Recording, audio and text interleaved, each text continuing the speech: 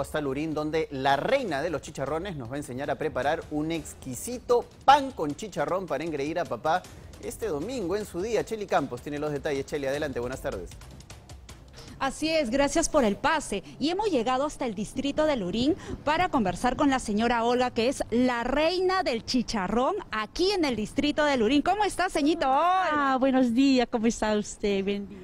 Paco, ella nos va a mostrar el paso a paso de cómo preparar un pancito con chicharrón, aprovechando que este domingo es el Día del Padre. Seguramente muchas personas quieren engreír a papito, ¿verdad? Claro, mire, este Día del Padre nosotros vamos a esperar a los papitos para que puedan saborear los ricos chicharrones. Aquí tenemos las costillitas, tenemos... Señito, usted me contaba que se despertaba a las 3 de la mañana para poder preparar este rico chanchito. Sí, sí, eh, claro, por supuesto. Nosotros ya desde las 5 de la mañana estamos listos con los chicharrones. Vamos a, cortar, acá ya tenemos listo el chanchito, mire, crocantito, ese pellejito. Esa, esa parte de acá es una parte de este, es este, costillitas, muy agradable. Y para los sándwiches, si le gusta, le ponemos mucha carne o costillitas. Para... el pellejito, ¿no? Hay muchas personas que les gusta el, pellejito. Sí, sí, aquí, como usted lo ve, ¿no? Bien doradito, todo en su punto, listo ya para preparar, consumirlo. ¿Y qué, cómo, va acompañado el chanchito? Acá también vemos el camote que ya está frito. Sí, el sanguchito, mire lo que tiene. Tiene su camote principalmente y el chicharrón acompañado de una salsa criolla.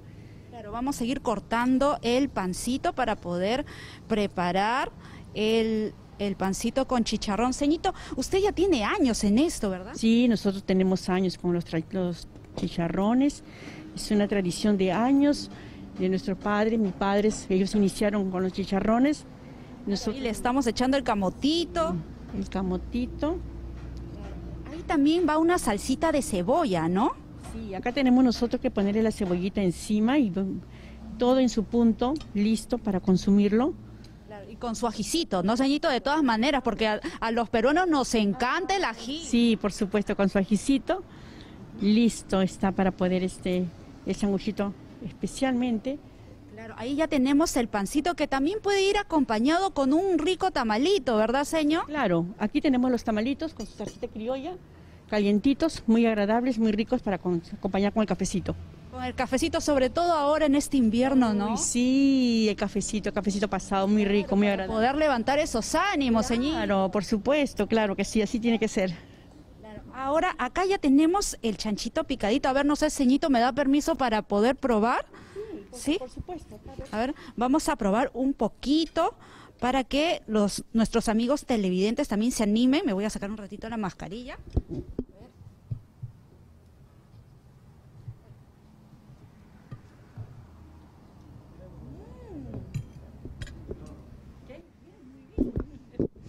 Realmente exquisito, Paco. Tienes que venir acá de todas maneras.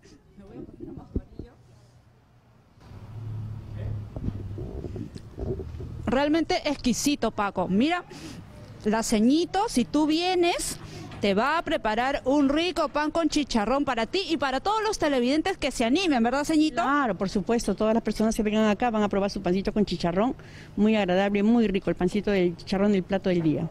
Ahora, señorito, usted me contaba que ya tiene tiempos en estos que antes se había dedicado a la docencia. Cuéntenos un poquito sobre esa experiencia como docente.